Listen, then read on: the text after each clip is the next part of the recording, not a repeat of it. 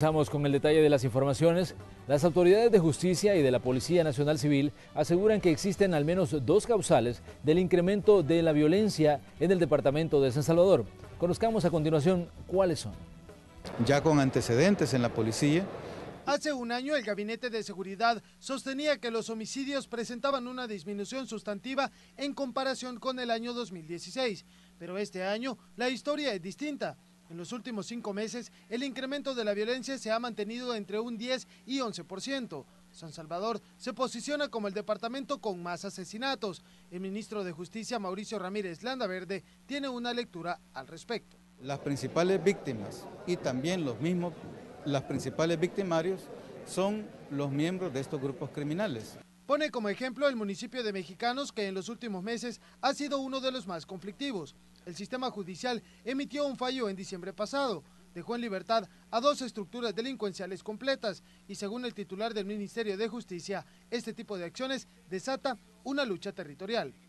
Al quedar en libertad, pues eh, se incrementan las contradicciones, dado que algunos sujetos que son puestos en libertad llegan a los sectores donde han venido operando reclamando determinado estatus o reconocimiento que otras personas ya ocupan. Pero esta no es la única explicación brindada. El director de la institución policial dice que todo es cuestión de perspectiva. San Salvador es el municipio más poblado del país y cree que por este motivo los asesinatos se concentran en esta zona. De lo que nosotros siempre hemos tenido más homicidios en el departamento de San Salvador y específicamente en el municipio de San Salvador que en cualquier otro municipio del país, pero es por sus propias características, ¿verdad? Entonces eh, hay que analizarlo desde esa óptica. A la fecha se registran 1.373 asesinatos y durante el mismo periodo en 2017 se contabilizaban 1.247.